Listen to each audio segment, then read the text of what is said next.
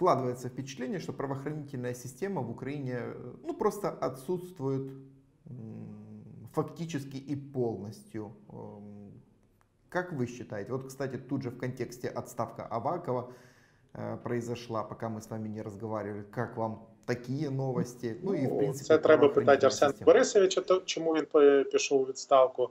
Щодо вашого питання, якщо глянути бюджет і витрати, то вона у нас дуже є і дуже е, гарно існує.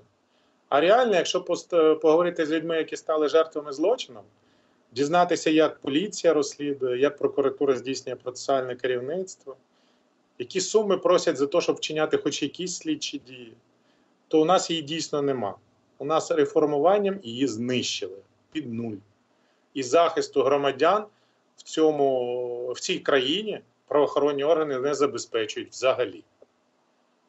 Тому єдине, що я спілкуючись з громадян, навіть зі студентами, да, у мене вкрали телефон, пішла в поліцію, сказали, перезвонять, і з тих пір пройшло три місяці, тиждень гладь, ніхто нічого не реєстрував, ніхто нічого не робив. От їх, як я, в той день було в райвідділі при мені вісім чоловік. Це студентка мені розповіла. Так це ж кожного дня так. І цих проваджень нема.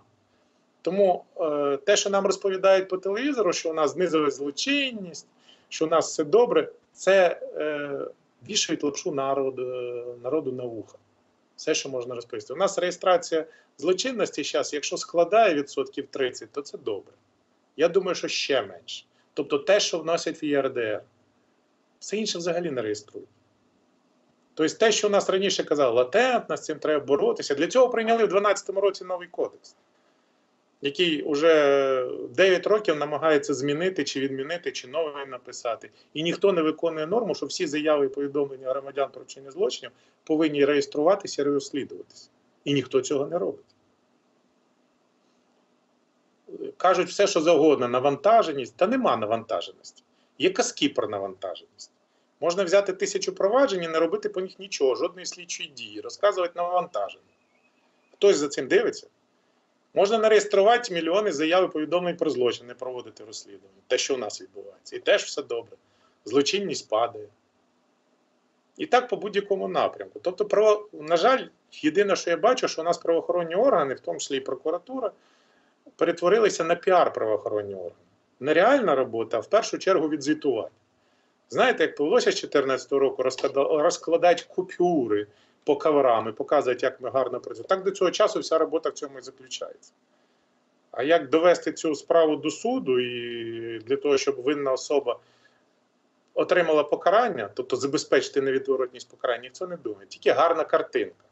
Гарна картинка, яку ми розкажемо людям, як все добре. Хай спитають тих, хто вважає, що він став жертвою злочину, чи отримали вони захист від поліції і прокуратури. Дуже б цікаве було опитування. Я думаю, дуже були б здивовані рівнем довіри до цих правоохоронних органів. Не до патрульної поліції, як у нас, а взагалі до поліції, яка займається розслідуванням злочинів. Повинна реєструвати і розслідувати. І прокурори повинні здійснювати процесуальне керівництво. А у нас все підмінено піаром. Тобто, жоден громадянин у нас захисту від злочинів на даний час немає. Це якщо він випадково е, його заяву попаде до того слідчого, який дійсно вирішить йому допомогти. А реально, в загальному порядку, я дуже сумніваюся, що чиїсь права будуть захищені і поновлені. Ні, у нас розкриваються злочини, крадіжки в магазинах і так далі. Да, у нас правильно зробили, що ввели кримінальні проступки, вони почали діяти, щоб розвантажити слідчі. Але суттєво на якість їх роботи це не вплинуло слідчих розвантажили. Але щось я не чув великої кількості е, розкриття злочинів реальних. Цифри малюють гарні. Це залежить від нереєстрації. Не реєструємо, значить розкриття покращується. І все стає добре. Але це ж нікого не цікавить.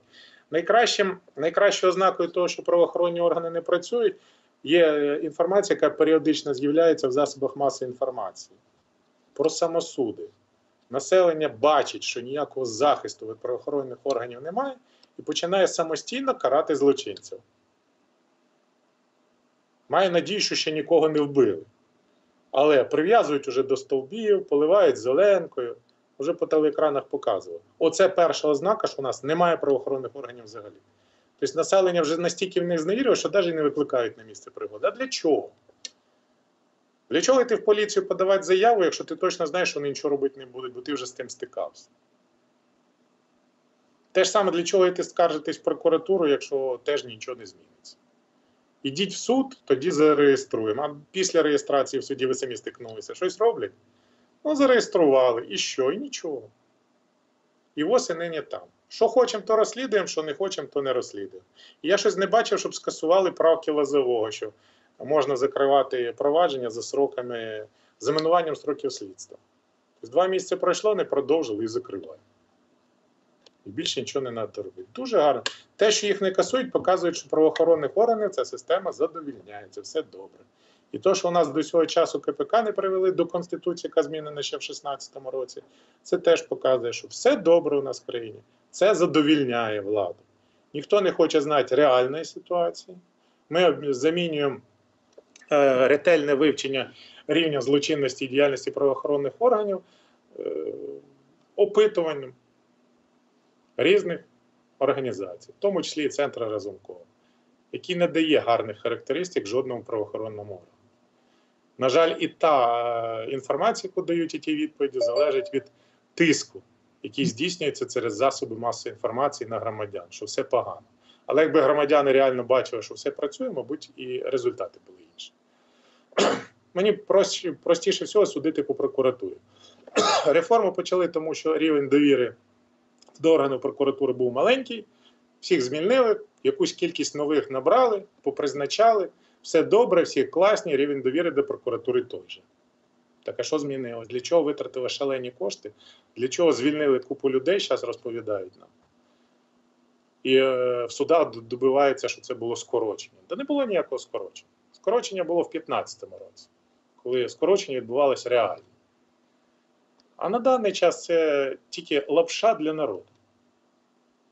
Щоб народ вирішив, що щось змінилось. Реально всі реформи проводяться з метою призначення на хлібні місця своїх людей, щоб вони подальшому дозволяли вирішувати якісь питання. Все.